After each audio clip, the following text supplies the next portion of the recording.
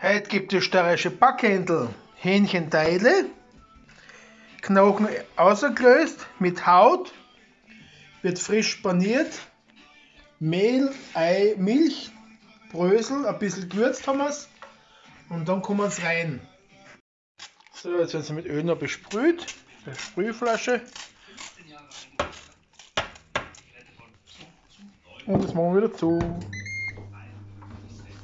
Jetzt lassen wir es drinnen für 13 Minuten bei 210 Grad auf Airfry.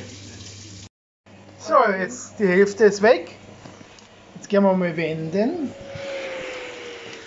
Boah, schaut das geil aus. Hm? Steirische Bockhändel. Das Hähnchenteile mit Haut aus der Oberkeule.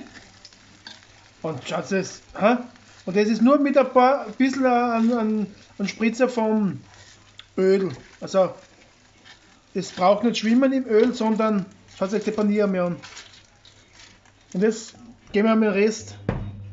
So, eine Tonaufnahme, wie es brutzelt drinnen. Zwei Minuten haben wir noch.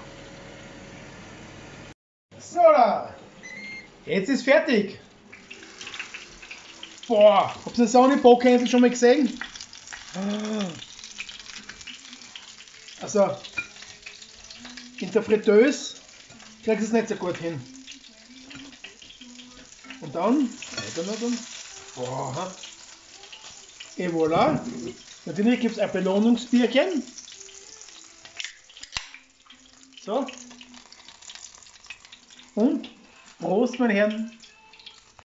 Und jetzt traditionell mit Reis, steirisch. Mmh.